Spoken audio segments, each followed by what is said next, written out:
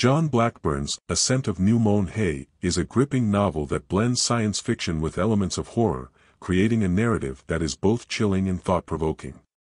The story begins with an unsettling atmosphere, as a mysterious disease spreads across Eastern Europe, causing a gruesome death that turns its victims into statues. The novel's opening sets the tone for the rest of the book, creating a sense of dread that permeates every page. The protagonist, Neil Rhodes, is a scientist who is drawn into the investigation of this strange phenomenon. As he delves deeper into the mystery, Rhodes uncovers a sinister plot involving a former Nazi scientist who has created a deadly bacterium as a form of biological warfare. Blackburn uses this premise to explore themes of scientific hubris and the dangers of tampering with nature. The novel raises ethical questions about the use of science for destructive purposes, reflecting the anxieties of the Cold War era in which it was written. The setting of the novel plays a crucial role in creating its tense atmosphere. The desolate, quarantined areas of Eastern Europe, where the disease has taken hold, are described in vivid detail, evoking a sense of isolation and fear. Blackburn's descriptions of the affected villages, where death and decay have taken over, contribute to the novel's eerie mood. The contrast between these settings and the more familiar, safe environments of the characters' homes serves to heighten the sense of danger. Characterization in the novel is another strength. Neil Rhodes is portrayed as a dedicated and intelligent scientist, but also as a man haunted by the potential consequences of his discoveries.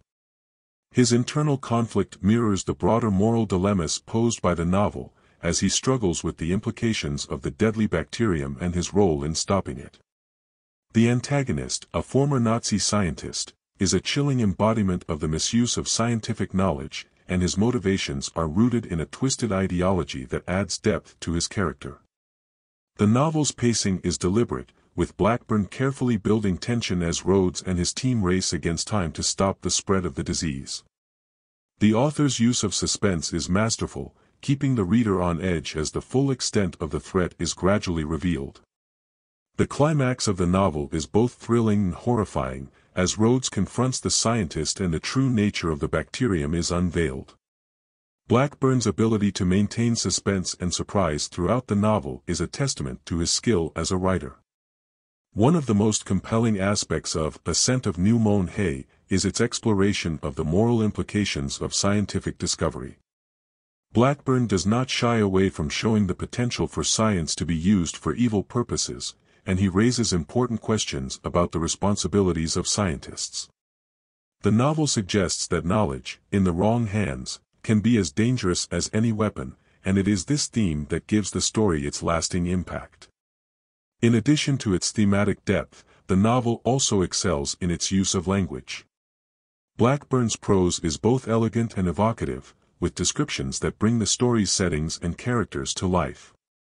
His ability to create a sense of unease through his choice of words and imagery is particularly noteworthy, as it enhances the novel's horror elements. Overall, A Scent of New Mown Hay is a powerful and unsettling novel that combines elements of science fiction and horror to explore the dark side of scientific progress.